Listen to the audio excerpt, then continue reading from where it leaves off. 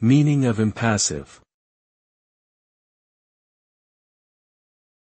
Impassive. Impassive. Impassive. Impassive. The term impassive refers to a person who is not showing any emotion or feeling, often appearing indifferent or unresponsive. This can manifest as a lack of facial expressions, a monotone voice, and a general absence of outward signs of emotional engagement.